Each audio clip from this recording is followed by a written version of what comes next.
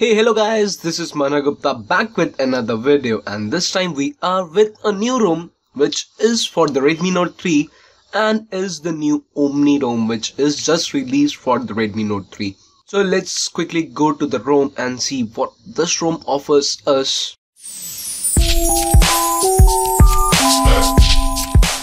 Now, Omni ROM is known for its stability and the minimal features that it provides.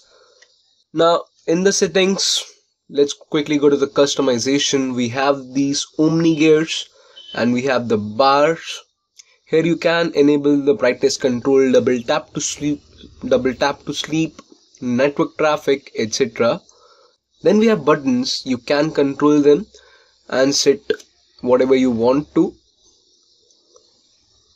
then we have this lock screen which you can enable or disable and can modify it by disabling media wallpaper, status bar hiding, voice assistant shortcut, camera shortcuts, etc. Then we can customize the notification LED for the ba battery charging and application LED notifications. Then we have the style option. You can enable those dark themes that they provide.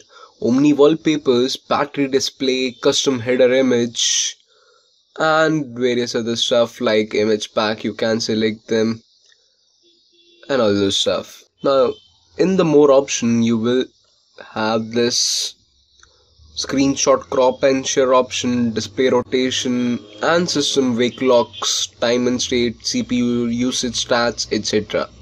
So these were all the customization features that are provided with this custom ROM and are quite normal. These num these number of customizations I feel so are okay. And we can say that this ROM doesn't offer a lot of customizations like in RR but the minimal number of customizations are present and they are the one that are mostly used.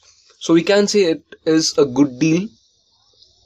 Now coming to the display option we have these adaptive display and the ambient display option like all other ROMs then everything is the same. So now let's quickly go to the memory consumption of this ROM for a day usage it's 2.2 gigs which is quite okay according to my usage.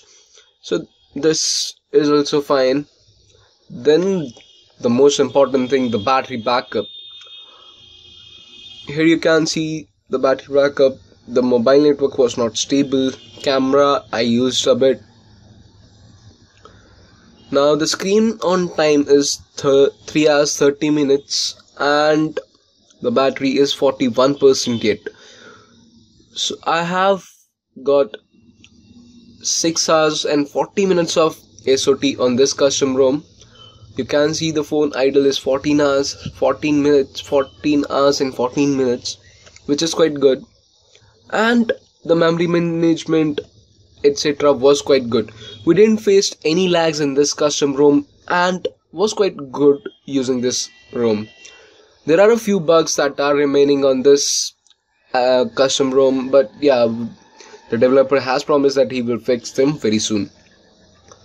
The first bug that we faced is the flashlight bug which is present in almost all the devices all the ROMs that are present for this Redmi Note 3 you can fix it by a app which is available on the Play Store the so it's a new now uh, the second bug that we faced is the camera flash. The camera flash works but if it works it is not synced with the click.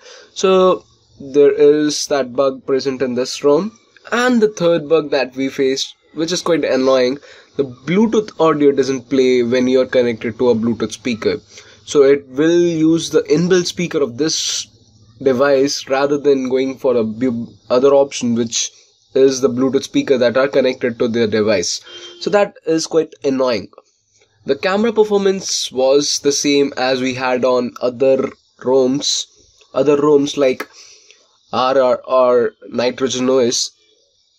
Though there was a bit of stability in, in Nitrogen OS compared to this custom ROM. Now, a few different things that are present in this ROM. We have the Omni clock, which is quite different. Uh, not quite different. It's the same as that of stock clock.